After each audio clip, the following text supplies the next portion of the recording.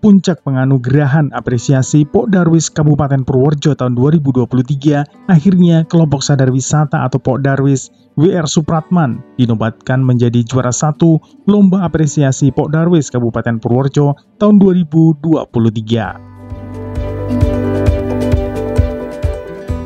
Penganugerahan tersebut dilakukan di Gedung Ganesha Convention Hall Purworejo pada hari Senin tanggal 20 November tahun 2023 lalu.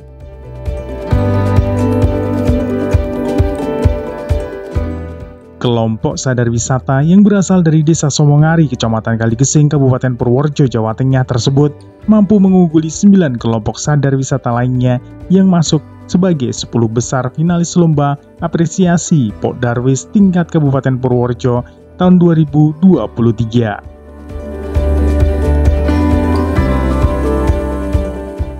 Atas prestasi gemilang tadi, kelompok sadar wisata WR Supratman berhak menerima penghargaan berupa piala dan uang pembinaan sebesar 8 juta rupiah.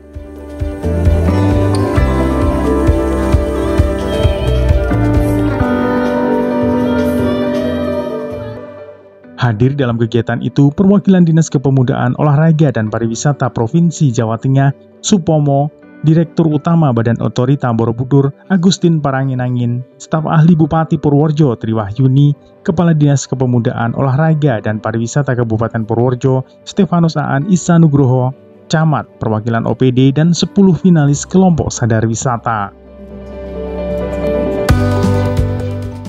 Disampaikan oleh Kepala Dinas Kepemudaan Olahraga dan Pariwisata Kabupaten Purworejo, Stefanus Aan Isanugroho, bahwa kegiatan penilaian kelompok sadar wisata itu menjadi salah satu kegiatan pembinaan yang dilakukan oleh pemerintah Kabupaten Purworejo melalui dinas yang dipimpinnya tersebut untuk mempersiapkan desa-desa wisata dan pengelolanya agar siap menghadapi perkembangan baik itu skala regional maupun skala nasional. Purworejo memiliki peluang setidaknya di 3 hingga 4 proyek strategis nasional yang ada di sekitar Kabupaten Purworejo, seperti Bandara Yogyakarta International Airport, Badan Otorita Borobudur, Bendungan Bener, dan sebentar lagi ada jalan tol yang akan melewati wilayah Kabupaten Purworejo. Sehingga peluang itulah yang kemudian dipilih dengan mempersiapkan para pengelola desa wisata untuk bisa menangkap peluang yang ada. Disebutkan pula bahwa hingga tahun 2023 terdapat 55 kelompok sadar wisata di 53 desa wisata sekabupaten Purworejo. Ada beberapa desa wisata yang memiliki kelompok sadar wisata lebih dari satu, sehingga totalnya ada 55 kelompok sadar wisata. Untuk seleksinya sudah berlangsung sejak kurang lebih dua bulan lalu, sudah berproses melakukan penilaian baik administratif maupun penilaian di lokasi dan terpilihlah 10 kelompok sadar wisata yang masuk kategori 10 besar. Selain penilaian akhir dari 10 besar kelompok sadar wisata yang ada, juga difasilitasi kegiatan business matching tabletop dengan 20 biru wisata daerah istimewa Yogyakarta, Solo, Jawa Tengah, dan sekitarnya, sosialisasi haki, dan seminar digital marketing.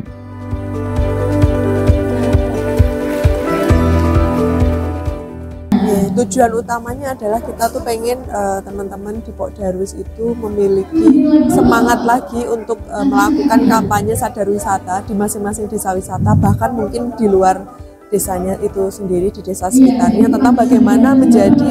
uh, desa atau kawasan yang sadar akan uh, sabta pesona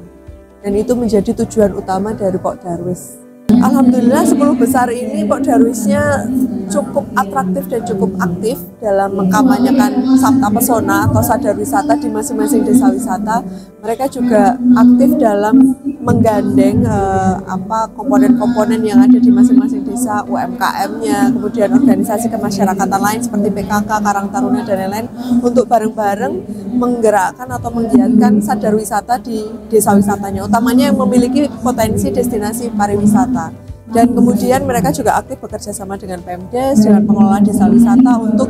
menciptakan suatu kawasan atau destinasi wisata yang baik di masing-masing desa wisata. Mudah-mudahan melalui kegiatan semacam ini sebenarnya kita tidak mementingkan kejuaraan 1, 2, 3 dan lain sebagainya, yang kami harapkan melalui ajang ini teman-teman Pok Darwis bisa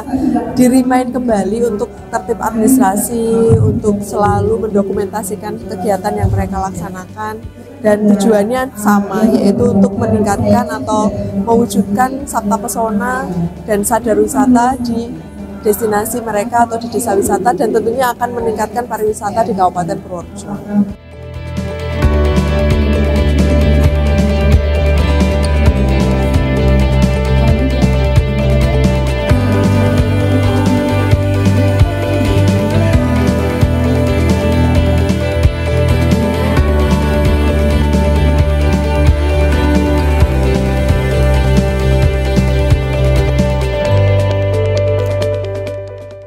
Dari Purworejo Widarto, Mahestia Andi Sanjaya, Bagelen Channel melaporkan.